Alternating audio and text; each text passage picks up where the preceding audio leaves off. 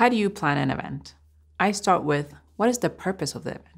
Honestly, just start with that.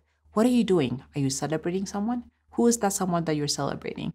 Are you throwing a party for a purpose? What is that purpose? If you stay focused on that purpose, everything else then falls around it. Okay. So let's say you're throwing a party for your best friend who's turning 11. Okay. So that is, you are celebrating her.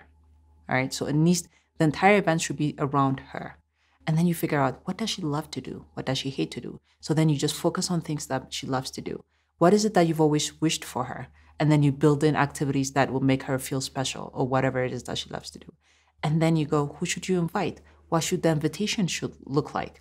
Should this be a surprise or not a surprise? If it's not a surprise, you can actually engage your friend in planning this party together. So you start with the invitation. And if you have a theme, start at the invitation card. It should have the same theme that will the party will have because the invitation card is the window to what the event is going to look like. So start there. Don't just send a text. Make it special. So print out a card. Nowadays is so easy. And then be very specific. Is it going to be a splash party? Will there be water? Is it going to be a makeup party? Is it going to be a soccer party? Whatever it is. So they your friends can come prepared for what the event is going to be.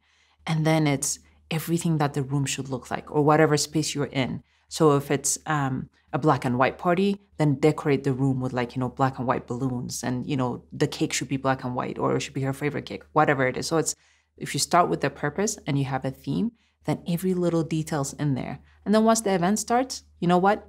Relax. Things will go wrong, but it's okay because something always goes wrong. If the balloon was supposed to drop from the ceiling and it doesn't, nobody will know it was supposed to drop. So don't freak out. But if you freak out, then everybody will know that something has gone wrong. So once you've done all your homework and you've put everything in place, be part of the party and enjoy it. So start with a purpose, have a theme, be very detailed, and have fun doing it. But once you're in it, just have fun with it.